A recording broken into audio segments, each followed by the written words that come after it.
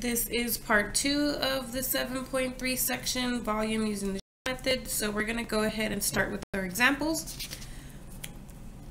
Example 1 does specifically say use shell method to find the volume of the solid formed by revolving the region bounded by this graph and the x-axis between the interval 0 to 1.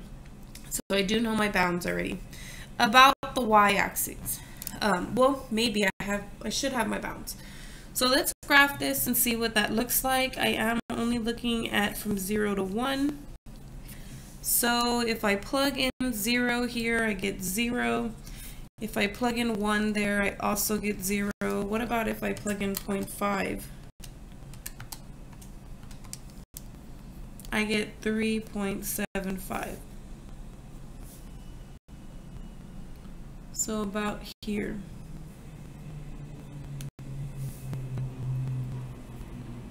So I've got a picture there. Um, I may want to fix my units there so it could be a little bit better. I think I'll make this 0.5. So this will be 0.25, which means that will probably be up there. Just because it's a little too small for me and I really want to have a good visual as to what's going on.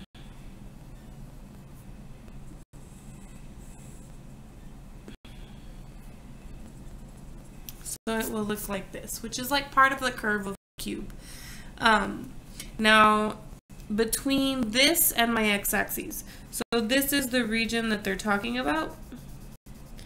And the I'm revolving about the y-axis. So I'm actually revolving around this. Okay. Now, since my line of revolution is vertical, and I am talking about the shell method, that means that my rectangle should also be vertical. Okay, so if I want to set this up, I have V equal to 2 pi, and I am doing it with respect to x because of my vertical rectangle, and I'm going to have h of x, which is going to be this height. Now the height is found with this function. So h of x is actually going to be x minus x cubed. Rho of x is going to be this measurement here. Now notice that the region is on the right and this value, the line is on the left. What is the equation of this line? The equation of the y-axis is actually x equal to 0. Okay, so we're going to take x to represent the region on the right minus this value for the line of revolution, which is 0. Now, if I simplify that using my algebra, this is just x, and I'm going to go ahead and distribute that x. Then if I integrate,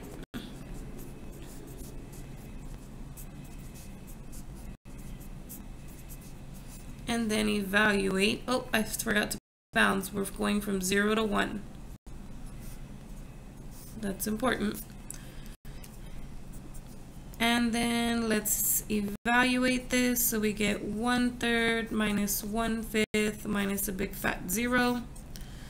So we get 2 pi times 2 over 15, which means we end up with 4 pi over 15. This is the volume of this solid of revolution once it creates that entire, basically looks like an egg after um, all the revolving has taken place. Okay, let's move on to example two.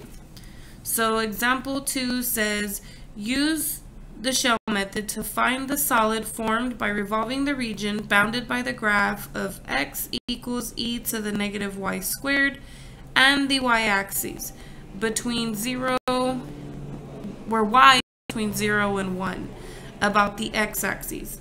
Now this one's going to be a little bit harder for me to um, graph.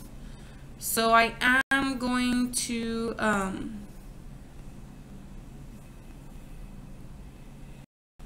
I think they give you the graph on this one actually. And it was my mistake for not drawing it. But the graph does look something like this.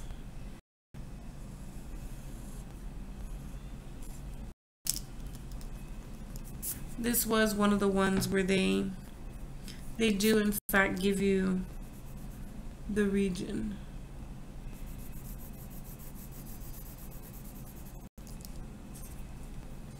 Okay, so this is the graph that they give you, and this is the graph of x equals e to the negative y squared.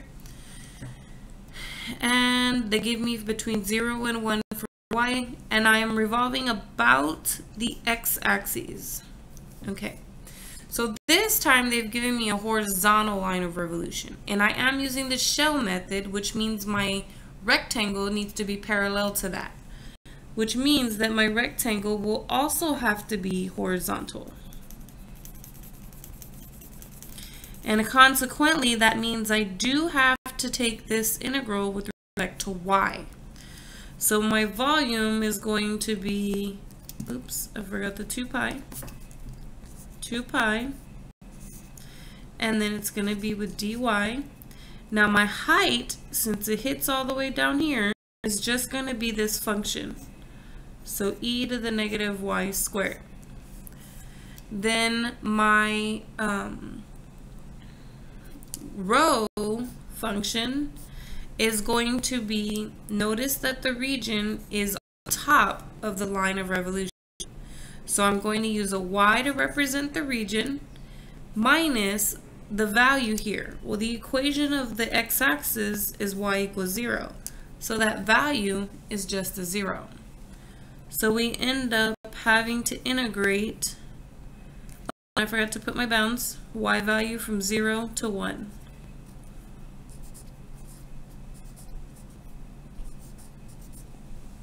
I think I want to use u substitution. So then du would have to be negative 2y dy. And I only have the y dy I could bring this 2 in and then have the 2 as well, but I am still missing the negative. So in order for me to put a negative in, I also have to take a negative out. So what this means is I'm going to have negative pi and then negative 2y e to the negative y squared dy. And if I use the substitution, this becomes, um, these parts become the du and this becomes e to the u. And the integral of e to the u is just e to the u. But I can't quite plug in the 1 and the 0 because this 1 and the 0 are y values. And this is not a y, it's a u. So I do have to back substitute and put back in my negative y squared. Then I can evaluate at y value 0 to 1. So we get e to the negative 1 squared, which is e to the negative 1, minus e to the negative 0, or just e to the 0. So we get negative pi over 1 over e minus 1. Remember that a negative exponent means 1 over e. And anything raised to the power 0 is 1.